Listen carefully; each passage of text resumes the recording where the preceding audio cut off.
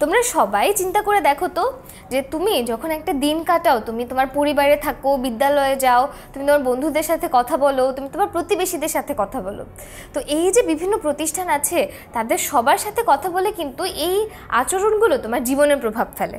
তুমি সেখান থেকে অনেক কিছু শিখো, কার সাথে কীভাবে কথা বলতে হবে, সমাজে কীভাবে চলতে হবে। তো এই প্রক্রিয়াটাই কিন্তু আমরা জানি যে সামাজিকীকরণ প্রক্রিয়া। তাহলে সামাজিকীকরণ প্রক্রিয়ায় বিভিন্ন প্রতিষ্ঠানের কিন্তু অনেক ভূমিকা রয়েছে। সেই প্রতিষ্ঠানগুলো সম্পর্কে আমরা জানব। প্রথমে রয়েছে আমাদের পরিবার। পরিবারের ভূমিকা তো মানে তোমরা নিজেরাও বুঝতে পারছ। চিন্তা করে দেখো, আমরা শৈশব থেকে কিন্তু পরিবারে থাকি। আমাদের শৈশব কাটে পরিবারে। এরপরে দেখা যায় যে আমাদের বাবা মা উপার্জন করেন। বাবা মার উপার্জনের ফলেই কিন্তু আমাদের যত চাহিদা আছে, সব কিছু পূরণ হয়।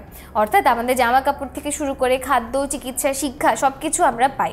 পরিবার থেকে আমরা আমাদের প্রাথমিক শিক্ষাটা পাই। অর্থাৎ একদম বেসিক এবিসিডি সরেও সরেয়া, এই শিক্ষাগুলো কিন্তু আমাদেরকে পরিবার দিয়ে থাকে।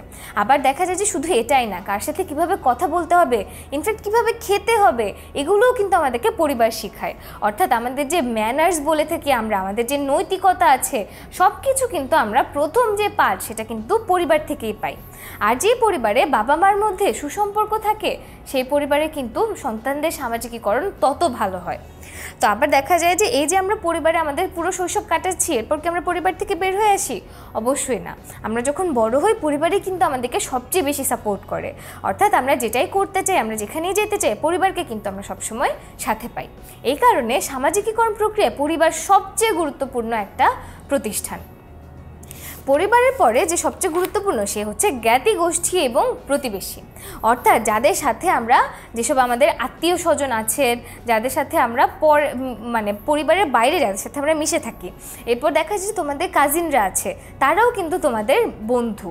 অর্থাৎ আমাদের পরিবারের বাইরে আত্মীয় স্বজন, প্রতিবেশী এবং যারা বন্ধু বান্ধব বা কাজিন তাদের কাছ থেকেও কিন্তু আমরা অনেক কিছু শিখে থাকি।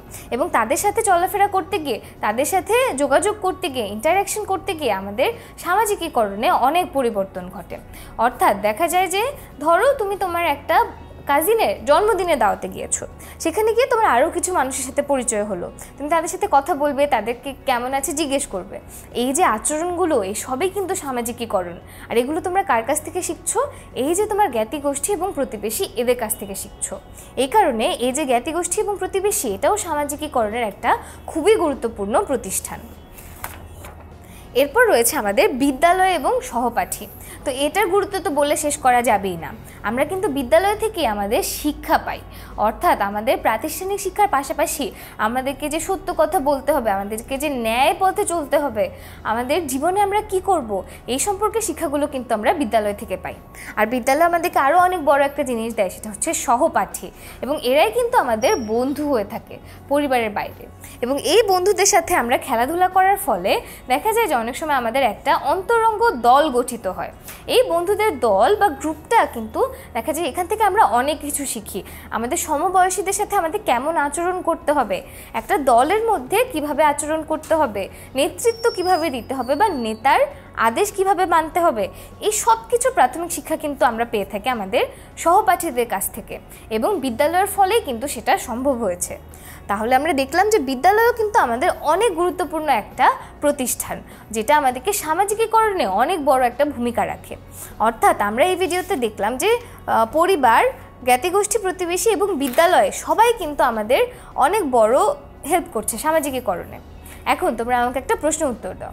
প্রশ্নটা হচ্ছে, সামাজিকীকরণের সবচেয়ে গুরুত্বপূর্ণ মাধ্যম কোনটি? তোমরা অপশনগুলো দেখে ভিডিওটা পজ করে উত্তর দিয়ে ফেলো। তাহলে আমরা জানি যে সামাজিকীকরণের সবচেয়ে গুরুত্বপূর্ণ মাধ্যম হচ্ছে আমাদের পরিবার।